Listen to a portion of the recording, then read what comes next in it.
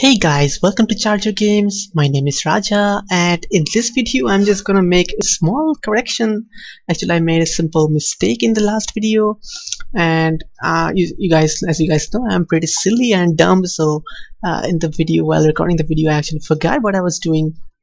So that is why when we run the scene from the last video as you can see here's an error that I have told you and I also tried to fix you but fix this but still the error existed there so in order to remove this, all you have to do is here as you can see I have put an or sign. So instead of that you have to put two ampersand as an and sign.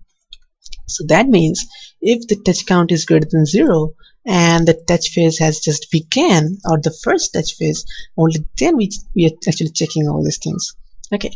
So now with that correction if I run this scene right now as you can see now the error is gone and if I hit something it says hit something and it gets destroyed.